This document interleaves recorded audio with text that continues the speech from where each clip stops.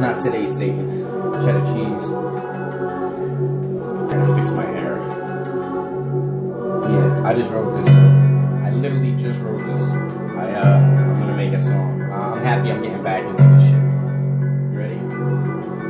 Check it.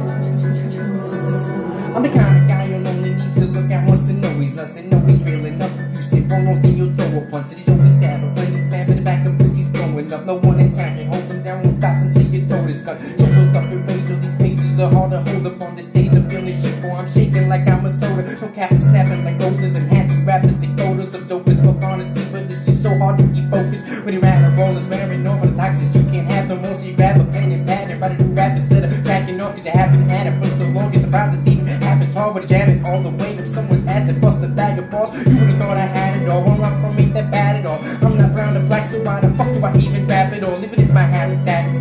travel, rejoicing the storm. Maybe I'm just bored and tired of just staring at these padded walls.